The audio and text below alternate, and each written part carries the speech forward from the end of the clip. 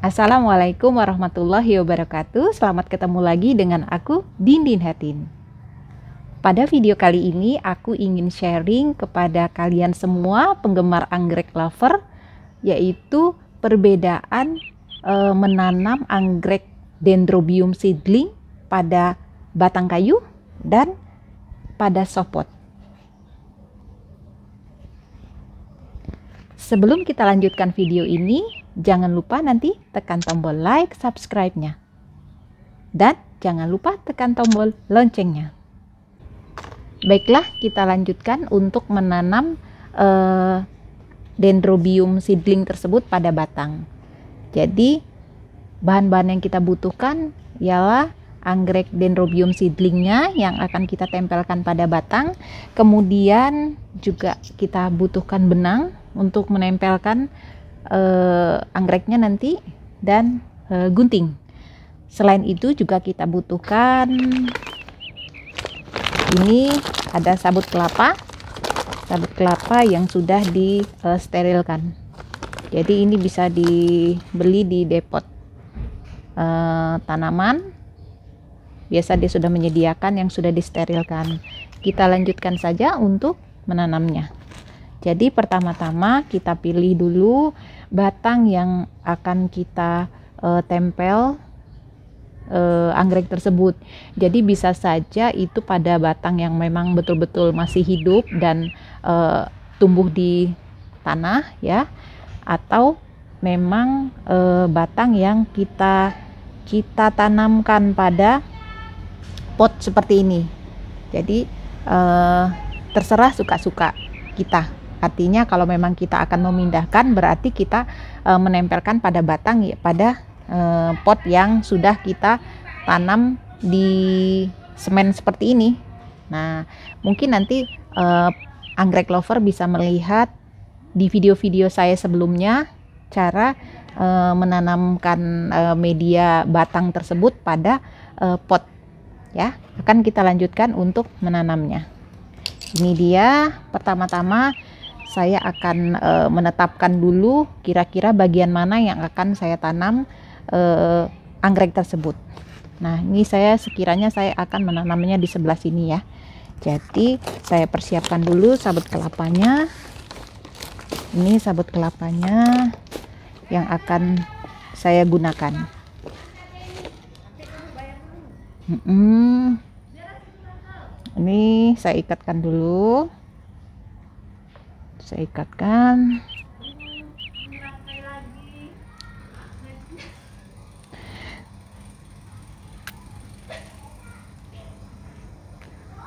Ini. Ya. Di sini saya akan menanamnya. Biasa anggrek lovers. Kalau udah sore seperti ini banyak teman-teman yang lewat. Jadi mohon maaf apabila memang uh, terdengar suara-suara. Mari pak. Oke kita lanjutkan. Ya ini sudah disediakan. Dan uh, di awal sebelum kita menanam terlebih dahulu saya ikatkan benangnya agar nanti mempermudah atau mempercepat kita untuk menempelkan uh, anggrek tersebut ya. Setelah kita ikatkan kita ambil anggreknya ini kita keluarkan dari softpotnya ya. Masih uh, menempel mosnya nah ini dia. Masih menempel mosnya jangan kita lepaskan. Terus kita tempelkan di sini ya. Kita tempelkan di sini kemudian langsung saja kita tutup dengan sabut kelapa. Sabut kelapa. Nah ini dia. Kita tata sedemikian rupa sehingga rapi ya. Baru nanti kita ikatkan dengan e, benang yang sudah kita lilitkan terlebih terlebih dahulu ya. Nah ini dia. Sudah tinggal melilitkan saja memang melakukan penempelan ini membutuhkan kesabaran, ketelitian. Nah, ini dia, tinggal kita lilitkan saja anggrek lover. Kita yakinkan bahwa penempelan ini akan e, memperkuat posisinya dengan menggunakan benang yang sudah kita lilitkan ini. Terus kita putar-putar.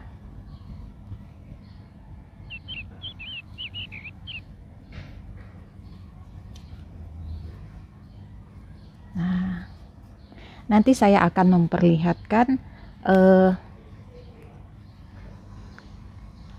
dendrobium seedling yang seusia dengan ini yang sudah saya tanam pada batang kayu yang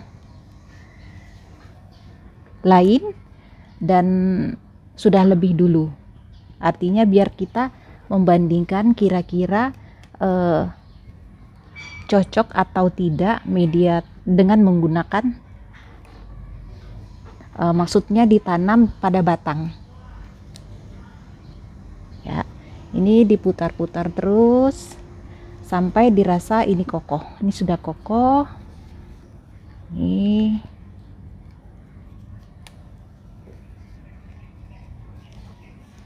ya ini sudah ya. Sudah kokoh ini. Tinggal kita matikan dengan cara mengikatnya.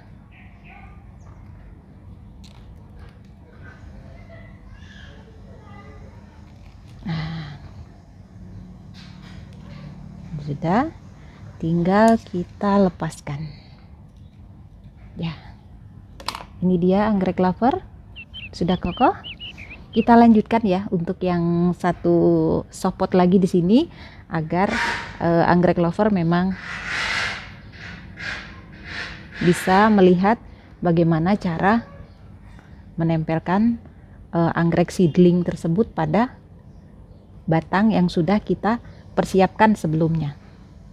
Ini sebelumnya uh, benangnya sudah kita lilitkan dan kita ikatkan agar mempermudah ataupun mempercepat proses penempelan tersebut.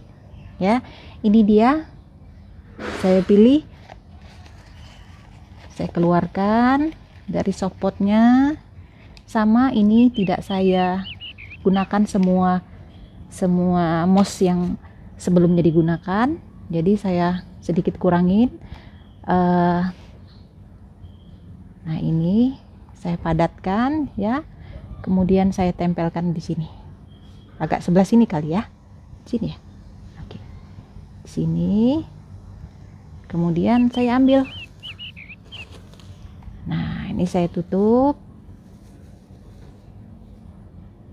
Gampang ya anggrek lovers ya mem, e, melakukan penanaman pada batang. Nah ini Sebetulnya ini bisa saja kalau memang kita merasa kurang setelah kita ikatkan bisa kita tambahkan susulan. Nah, ini ya contohnya. Ini saya ikatkan.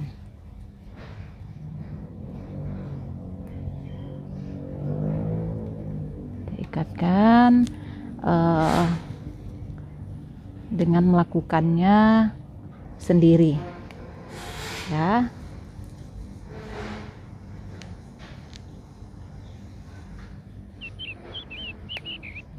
Di ah, ini. Nah eh mana nggak ketemu ininya? Dililitkan. Jika masih merasa kurang seperti ini ya saya akan menambahkan lagi sabut kelapanya di bagian bawahnya. Nah seperti ini. Jadi jangan takut untuk menambahkan atau memperbaiki letak daripada uh, anggrek tersebut. Nah, ini dia.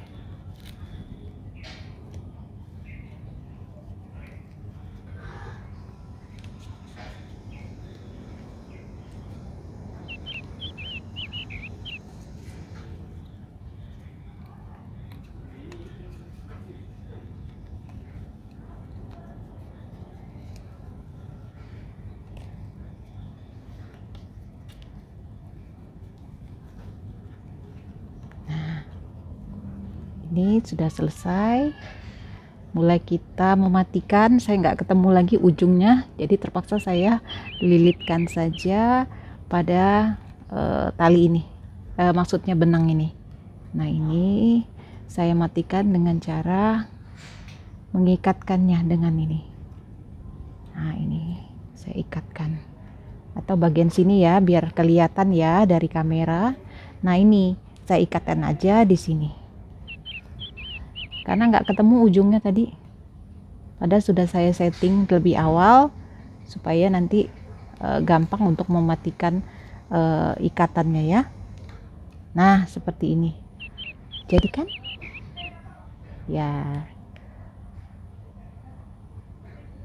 Ya ini sudah selesai. Ini sudah selesai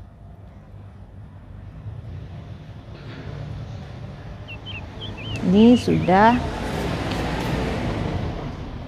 ditanamkan dua plane pada batang kayu yang sudah eh, disediakan.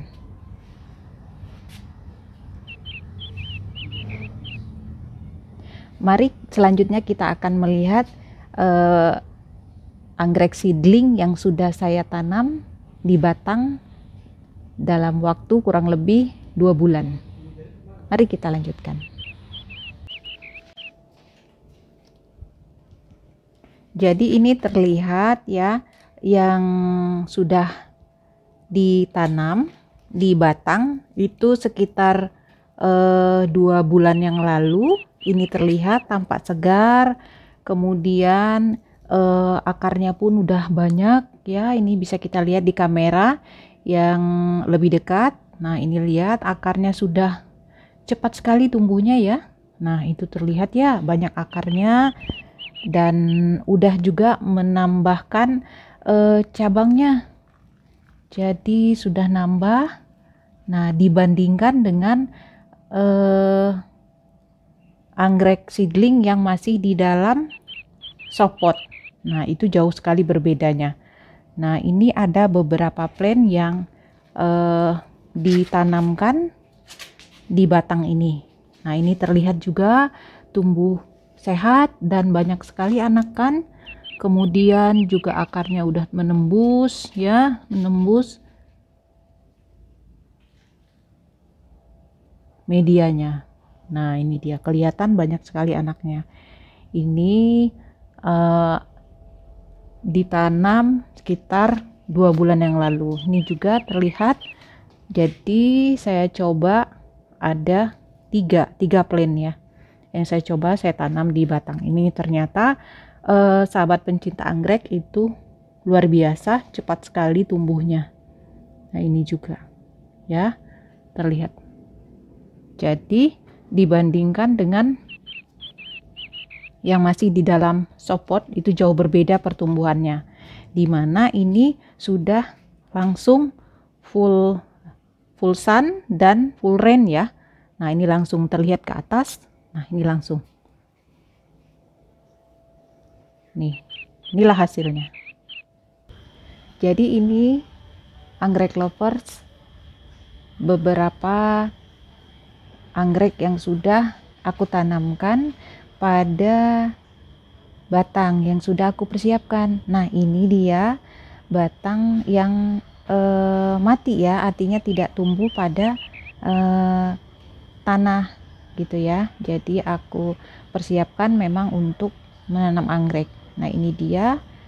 Dan anggrek-anggrek ini tumbuh subur sekali ya. Nah ini spike-nya. Memang ini sudah anggrek yang uh, dewasa. Ini dia.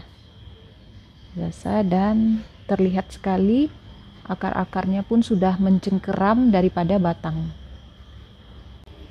Nah, ini juga anggrek yang sudah dewasa dan sudah kurang lebih eh, satu tahun ya aku tanamkan pada batang. Nah, ini terlihat akar-akarnya udah mencengkeram batangnya. Nah, ini ini silau ya. Jadi kita lihat di sini. Nah, ini ini sih yang terlihat terlihat banyak sekali akar-akar yang sudah keluar dari sabut kelapanya. Nah ini dia. Ini dia dan tumbuh subur sekali. Tumbuh subur sekali. Anggrek lovers ya. Nah itu dia terlihat bunganya banyak sekali. Ini dia kurang lebih satu tahun ini udah ditempel pada batangnya. Demikianlah video aku kali ini. Semoga bermanfaat buat kalian semua. Thanks for watching. See you next my video. Wassalamualaikum warahmatullahi wabarakatuh. Bye